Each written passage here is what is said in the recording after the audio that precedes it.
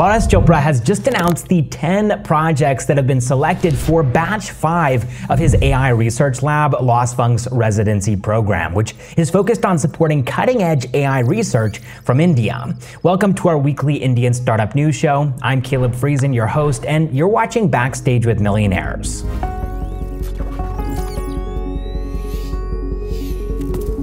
And before we dive into it, this channel is part of the Zero One Network by Zerodha.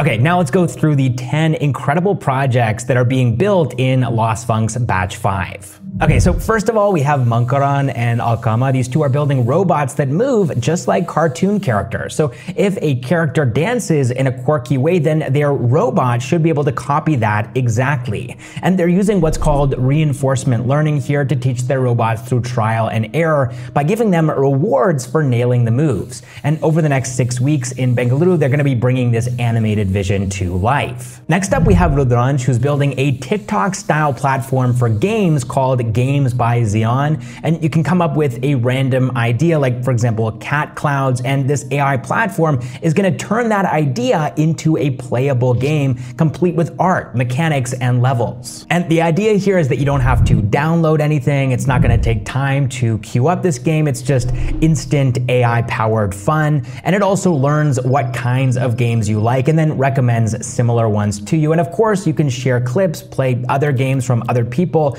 and compete globally as well, or at least that's the long-term vision. Then after that, we have Kushi Mittal, who is literally aiming for the skies. She's building autonomous cargo aircraft. These are planes that fly themselves to deliver goods. And so over the next six weeks, she's going to be retrofitting an existing plane with smart AI controls. And in the long term, her vision is to start the world's first autonomous airline. No pilots, just all handled by AI and software. Okay, next up, we have Chitra Singh, who's building an AI assistant that helps radiologists analyze spine MRIs much faster. Her AI model combines image recognition technology and language models to pull out key clinical insights for both scans and reports, potentially saving doctors hours per patient. Then after that, we have Hari, who is designing a smarter electric grid using reinforcement learning to balance energy supply and demand in real time to reduce waste. And then following this, we have Aditya De Silva, who's challenging AI to master complex video games. While typical models like AlphaZero take millions of training hours, he's aiming to train AI to master chess in just 50,000 self-play games. And that's incredible. He eventually wants to tackle games like Assassin's Creed, which are very data heavy and strategically way more complex, especially for an AI. Then we've got Tanay Lohia, who is mixing AI with biology. He's using large language models and deep knowledge graphs to answer complex biological questions and even design new proteins. His first focus is going to be agriculture, and the idea is to use AI to boost crop science and sustainability. After that, we have Nishit Goyal, who is building an AI tutor called Apu for kids between 3 and 8 years old. But this isn't just an app, it's an interactive learning assistant that teaches through games and conversations. And so over the next six weeks, he's going to be developing what he calls a cursor for learning by running interviews with parents and educators to make a product that's truly useful for teaching. Then after that, we have Timber and Godrig, and they're building a game called Sentient Struggle. Basically, it's Squid Games, but for AI models, and the idea is to test LLMs on social reasoning. And so over the next six weeks, they're gonna be working on giving these AI agents personality and strategy so that they can act less like bots and more like real players. And then finally, we have Arnav Bansal, who is working on a lightning fast search engine called findparts.in to help electrical engineers find electrical components for their projects. And Paras says that Arnav's system aims to deliver results in under 10 milliseconds from a pool of millions of items. And so, yeah, that is the complete 10 project lineup of Lossfunk's fifth batch. But continuing to talk about AI here, Sarvam AI, which is based in Bengaluru, is actually going to be open sourcing its large language models under the India AI mission. And what that means is that the core code and model weights are going to be made publicly available for anybody to use, modify, or build on. And Sarvam's co-founder Vivek Raghavan confirmed this plan, saying the release will happen under permissible licenses. And so this is really big because Sarvam isn't just any startup. They're actually building India's first sovereign LLM focused on reasoning, voice tasks, and fluency across Indian languages. And so to help them to achieve their goals, Sarvam has actually received the highest subsidy of 98.68 crore rupees against a total bill of 246 crore rupees to access 4,096 NVIDIA H100 GPUs for six months. Now, earlier this year, there was some debate about whether these government-funded models should be open sourced. And even Paras Chopra, who we just talked about, had questioned why taxpayer-funded models weren't being made open source. And so it looks like some of that pressure might have actually worked. It might have done the job here. All right, next up in the news, this one is big, and we've been making videos about this for a very long time, actually since pretty much the beginning of Backstage with Millionaires. Tesla has finally officially properly entered the Indian market. And this is actually coming eight years after Elon Musk first started talking about it. The company's first showroom has opened in Mumbai, and at the launch event, Maharashtra's chief minister said that Tesla's arrival isn't just the opening of a showroom,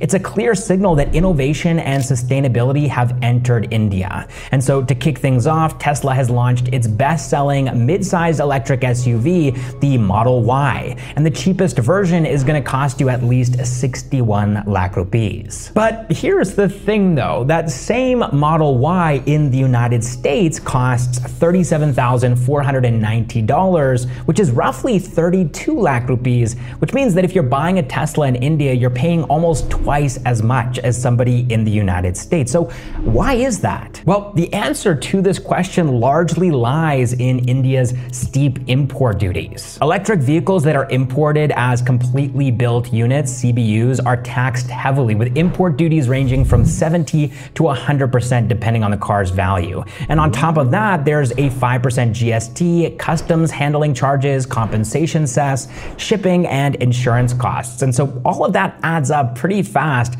but that's not all because if you compare Tesla's Model Y in India and in the United States, it's not just more expensive here, you're also getting a slightly inferior product. The Indian version also has a lower range and top speed compared to the one sold in the United States. Now, Tesla could have avoided a lot of these charges. They could have brought down the cost of the Model Y in India significantly if they had opted into India's new EV incentive scheme. The scheme offers a steep reduction in import duties as low as 15% if they've committed to investing 4,150 crore rupees into local manufacturing. But Tesla decided that they did not want to opt into that, probably because they just want to first test the market and see if there's actually demand for Teslas in India. But the thing is, Tesla is already very late to this market. It's going to be a tough market to crack. It's already dominated by players like Tata and Mahindra, who are offering EVs starting as low as 8 lakh rupees. All right, next up in the news, Zepto's 10-minute food delivery service, Zepto Cafe, is slowing down. After rapid expansion, the company is now scaling back operations due to supply chain issues and a shortage of trained kitchen staff.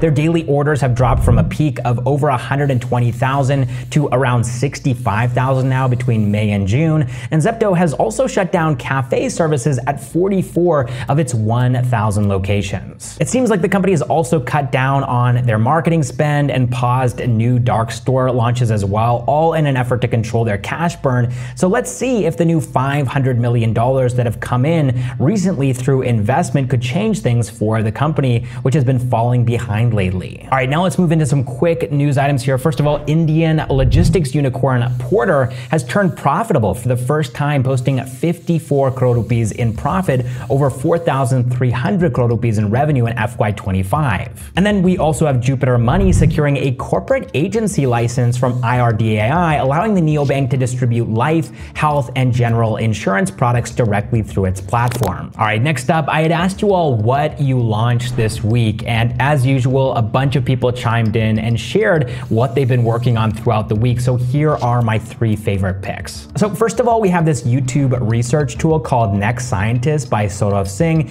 It basically scans YouTube videos and pulls out important stuff and helps you to research or study, all without having to go through multiple videos. and hours of content. Next, we have Cypher XAI built by Paresh. It's an AI tool that acts like a super smart assistant for retail and e-commerce businesses. And so instead of digging through dashboards or spreadsheets, you can just ask it questions like, how are my sales doing today? And then it'll instantly give you clear answers. Plus, it'll suggest what to do next, like which product to promote or whether to adjust pricing. And then finally, we have MCP Shell by Parthed. It's a tool that lives in your terminal and lets you chat with any AI model. And it can help you manage servers, organize tools, and soon it'll also be able to handle complex tasks automatically. And plus, it's open source, so you can customize it for your needs. Okay, now let's move to the funding news segment for today's video. This week, Indian startups raised $83 million, which is just slightly lower than last week's $84 million, but it is also below the trend line. So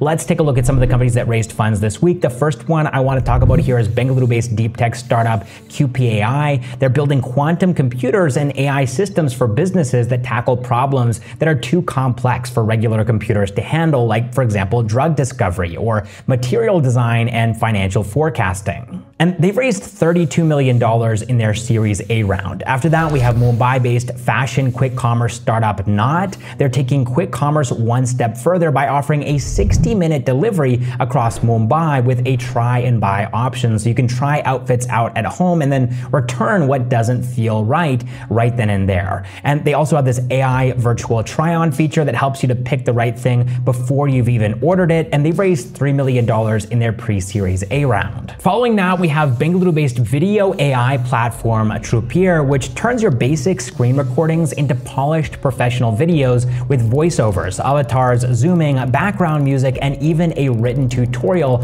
all automatically. And Trupeer is competing with a lot of other players right now, like for example, Loom. Also, Trupeer isn't stopping at just screen recordings. They also want to generate videos from documents, kind of like how Google's Notebook LM generates podcasts from documents. And the platform is already being used by more than 10,000 teams globally, which is incredibly impressive for a company that started in 2023. According to one of the company's founders, Shivali Goyal, software should be easy to explain. But until now, making good product videos meant spending hours editing or thousands of dollars on production. And so Trupeer wants to change that. And I've actually been friends with one of the company's founders, Pritesh Gupta, all the way back since 2019, uh, less than one year after we had started Backstage with Millionaires. And so he has seen Backstage with Millionaires grow from 1,000 subs all the way to more than a million subs. And I now have also gotten a chance to see him and his startup journey progress as well. And so Trupeer has raised $3 million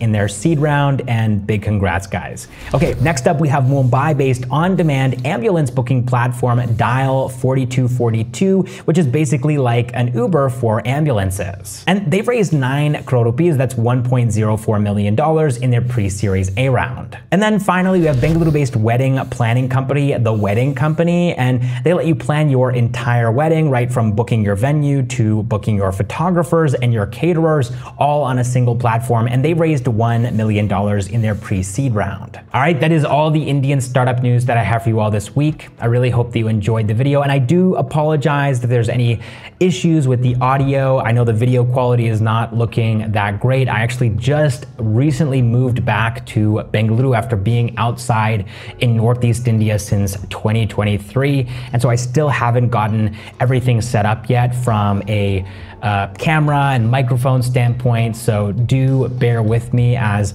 I make this transition, but I do appreciate you all tuning in nonetheless. And yeah, with that said, I'm Caleb Friesen, and this has been Backstage with Millionaires. I'll catch you in the next one.